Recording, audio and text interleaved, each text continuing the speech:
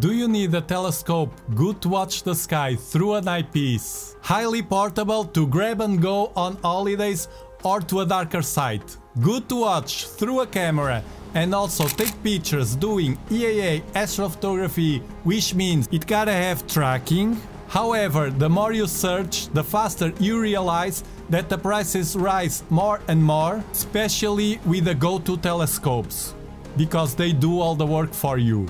Therefore, I may have found the perfect solution for you, whether you're a beginner trying to find your first telescope or an experienced astronomer that just need a grab-and-go telescope. And yes, I'm talking about this small candy telescope that your eyes can stop watching.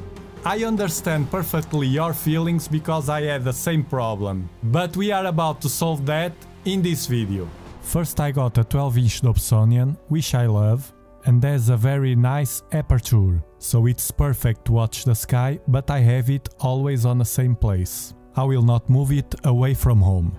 Then I got this beautiful 8-inch Dobsonian, which I also use with my equatorial platform. It has also a good aperture and it's not so heavy, which allows me to take it for a walk once in a while.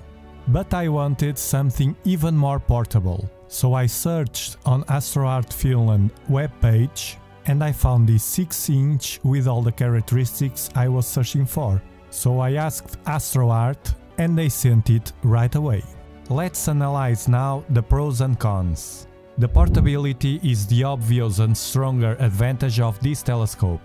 It's so compact and easy to grab and go that you can take it anywhere. And is as light as a small dog. Ooh, it's angry.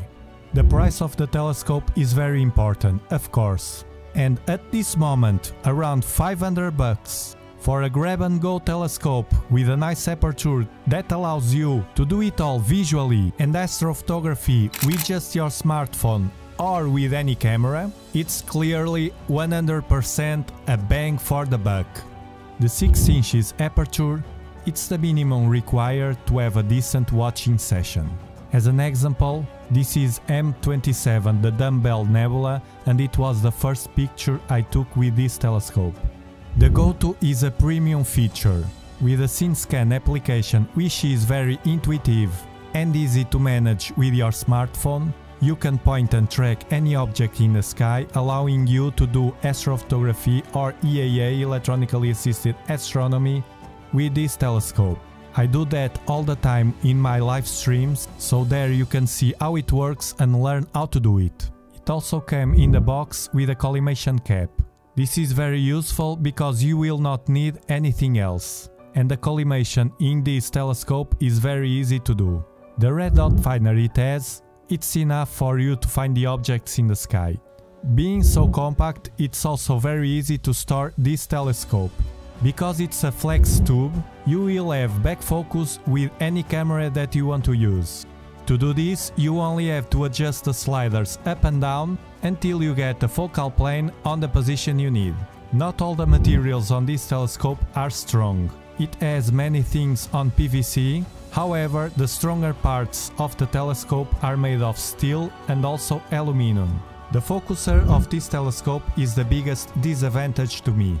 It's not 2 inch, it's only 1 and a quarter inch, which means you have to use an adapter if you want to use anything with 2 inches. You can also use straight away the nose piece that comes with your ZWO cameras. The focuser main structure is also made of PVC and cannot be changed. The top ring with the screws is made of aluminium though. As it is helicoidal, which means you have to turn clockwise or anti-clockwise to get focus, it's not so nice as the regular focusers. However, not everything is bad, because like this it's much lighter and has no light leaks at all. This journey has just Look. started. Click on this video to watch more of this content. You see?